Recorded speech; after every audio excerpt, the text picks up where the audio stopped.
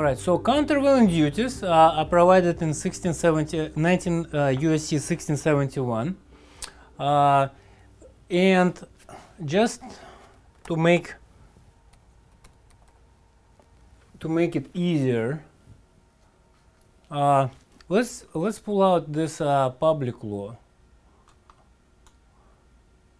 which uh, deals with uh, it goes back to 1979. So back in 1979, instead of the word subsidy, instead of the word subsidy,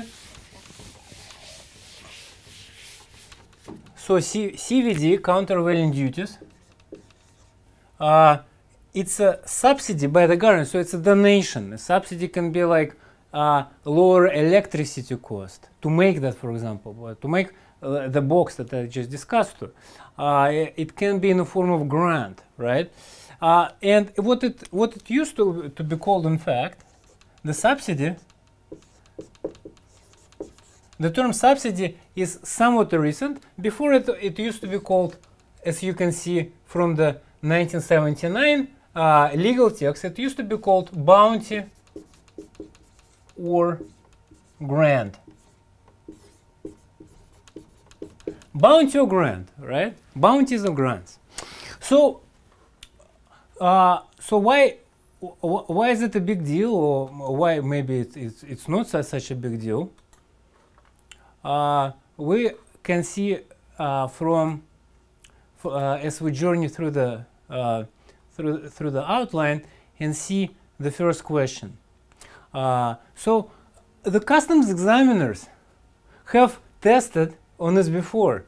Uh, and they tested on this quite recently. So uh, the term was no longer in use by, by the time we hit uh, 1980s. Uh, Bounties and grant was uh, taken out and term subsidy came into the being as far as Congress is concerned, but not as far as customs is concerned because it took them some time to change this and they were, uh, they were still testing it for quite a while, even as recently as this question, which I believe um, mm, came around uh, 19, uh, well, I mean, uh, 20, 2010, something like that, 2011.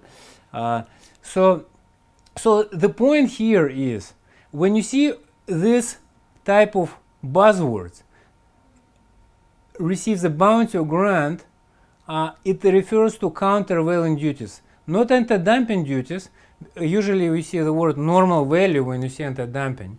Uh, marking duties, no. Uh, quota, no. Foreign export duties, no. It's countervailing duties. Subsidy, bounty, or grant are the buzzword. And the reason customs examiners have asked this is because in there is the uh, there is a CAT-AIR glossary of terms. It's customs and trade uh, automated uh, uh, interface, and um, uh, uh, requirements. And because uh, they, they, they have glossary of terms, and because the, this glossary of terms incorporates some of the common terminology, this it also included the countervailing duty, bounty, or grant. But so, in other words, that glossary was uh, no one pre pretty much updated it, but because customs examiners test on CAT-AIR, test on electronic requirements, they were, it, it came into the customs broker exam. So uh, please be mindful uh, when you see countervailing, it means subsidy or bounty or grant. All right, uh, continuing on. Uh, agencies responsible for issuance or of anti-dumping duty or countervailing duty order. So here we are, we come in into the government agencies. One we talked about already, Department of Commerce, right? What do they do? They determine the normal value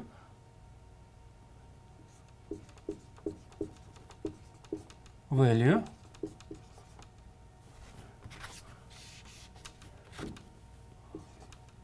so they could determine the margin or percentage. Another agency which before the anti-dumping duty order is is taken in place is United States International Trade Commission, abbreviated as I usually abbreviate as ITC, and what they do is they determine if the injury took place. And the injury must not only be the injury, the injury must be material injury. And ma material injury uh, is a uh, deter uh, is also uh, is, is also uh, a term I would say a term of art right so this is ITC and you you know the International Trade Commission. This word this agency should be familiar to you because in addition to overseeing the injury uh, material injury uh, International Trade Commission also uh, is responsible for uh, safekeeping the harmonized tariff schedule of the United States.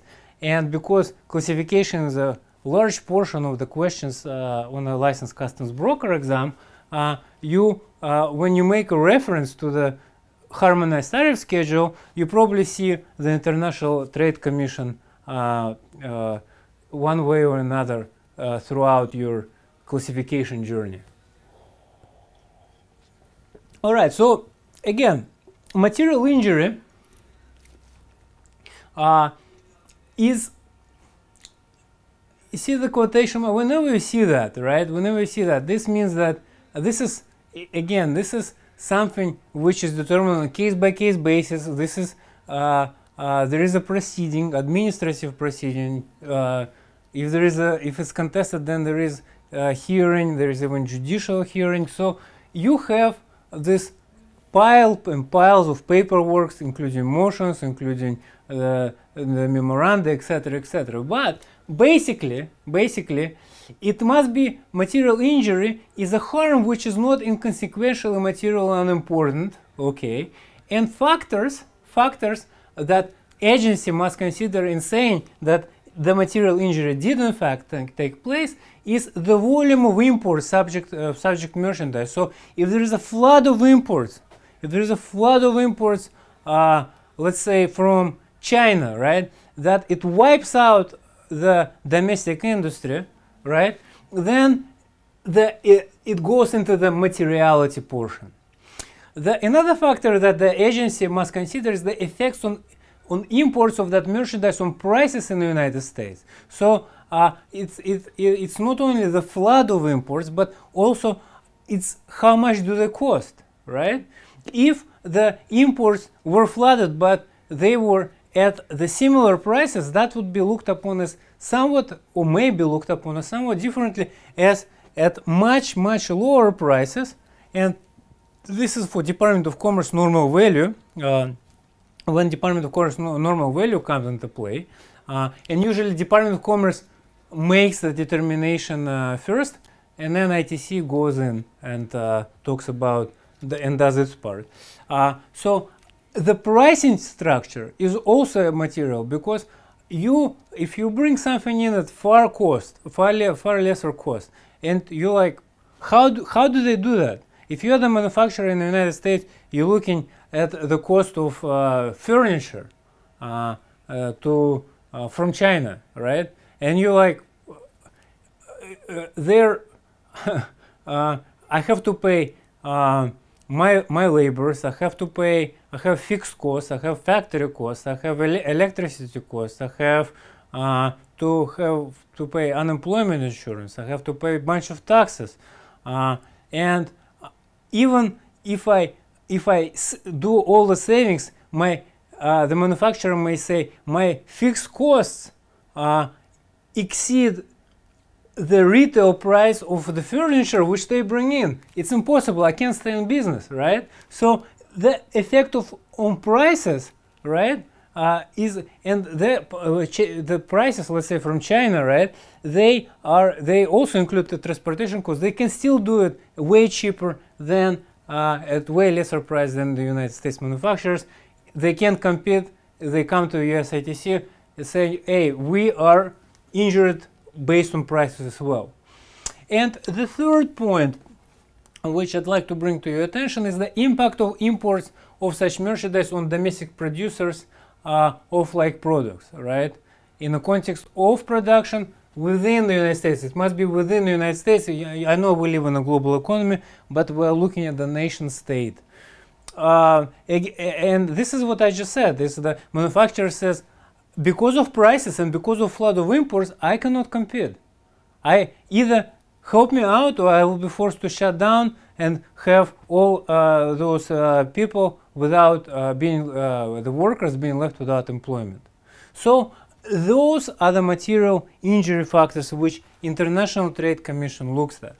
If Department of Commerce finds the normal value, right, is below the export price, then then it uh, it makes affirmative determination. If International Trade Commission finds injury and finds that the injury is material based on what we just discussed, then it finds affirmative determination and preliminary order uh, is, uh, is imposed. The preliminary orders uh, are published in the Federal Register, but my favorite place to go to them is the anti-dumping duty uh, search uh, uh, engine right here, provided by provided by U.S. Customs and Border Protection, and it's um, um, it, it's somewhat helpful. We have we have various message types over here. So, uh, for example, for preliminary, right here, you can see that notice of preliminary determination, right, uh, uh, over here. This is at this stage. At this stage, this is when the anti-dumping or countervailing duties begin to be imposed. This is uh, this is a point when you start to uh, to, to have a feel. This is the point when you start to make type 3 entries instead of type 1 entries after both of those engines make the determination. All right, let's uh, uh, so let's let's go back to to the outline. Uh, so as far as determinations are concerned,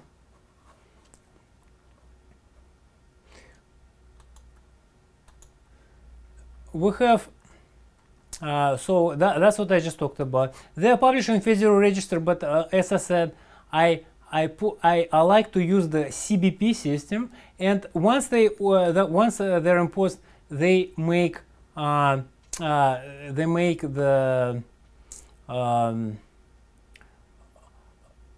what's called the, the, the publication, and but sometimes the circumstances are so dire that even the notice of preliminary order can go back can go back 90, 90 days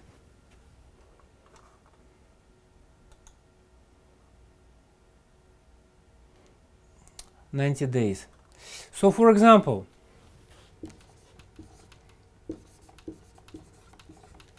And if it goes back, and this dire, this dire situation is called critical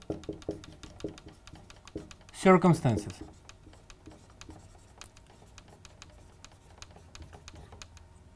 So, let, uh, so this means uh, uh, that they can go. They even know that order was not known, was not given. The it the that 90 day order is retroactive. It goes back right? So all the merchandise which has been brought within those 90 days uh, is also changed to type 3 entry, to the anti-dumping entry, uh, because of what's known as critical circumstances.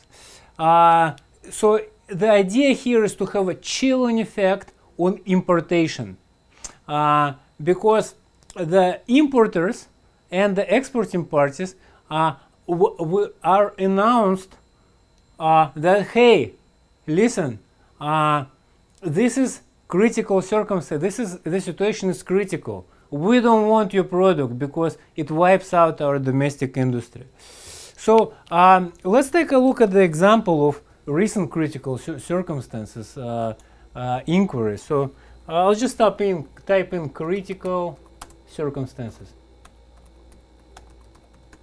And we'll see what we have. So, um, uh, so we have uh, carbon alloy steel. So we have uh, quite quite a recent one, right? So uh, 90, uh, uh, September 13th, 2017. So um, let's let's take a look at what it says. So uh, it here you have references, and remember I said it must be published in the Federal Register. Well, here it is. Uh, here is the publication date, period of review. So whenever the Department of Commerce makes makes the period of review, uh, they usually take uh, the the particular window, particular time frame, and they make the analysis which is relevant to this particular time frame. So effective date, uh, the date of the order, right, uh, is uh, let's see, let's see, let's see, let's see. Effect, effective effective date is he, here would be uh, 6-14-2017. Even though the the message was uh, the publication was uh, uh, uh in 9-12, so September 12, 2017 that's the notice in Federal Register came out. The customs issued a message a day later, but effective date was way before that. And why is that? It's because of that critical circumstances uh, situation, right? Uh, the critical circumstances uh, uh are found over here, right? Uh, affirmative determination of Russian Federation, Russia, of alloy wire rod. So steel alloy wire rod this is something uh, that is used in the construction industry. Uh, and uh, let's see. so, so here the critical circumstances effect is described. So they go back 90 days before the date of publication. So uh, they published the the date of publication was 9 12 September 12 2017 they go back and the effective date of the order, the statute looks back uh, under the, the uh, under the Tariff Act 90 days because critical circumstances were found to exist. So the order is applicable on 6 on June 14, 2017. So anything after June 14, 2017 is remember I told you 400 percent here the the rate the rate was is found to be 436% generally speaking. But look at some of the some of these guys, right? So you have uh, uh, those entities: Abinsk, JCS, GSC, right? One of them at 756, 93%. So does another. That's whopping uh, anti-dumping duty rate, almost like approaching approaching almost thousand percent, right? This is huge. How can you compete with that? Well, this obviously those producers and exporters it has they, they it has chilling effect on those producers and exporters. Not to say countrywide rate, right? All other rate, any any Russian exporter, right? and we're talking about the producer or exporter, right? Uh, having to uh, uh, it's would find difficult time selling their steel wire subject to this investigation because of such enormous anti-dumping duty rate. Uh, so that's uh, one of the recent examples. Uh, all right, back to the outline.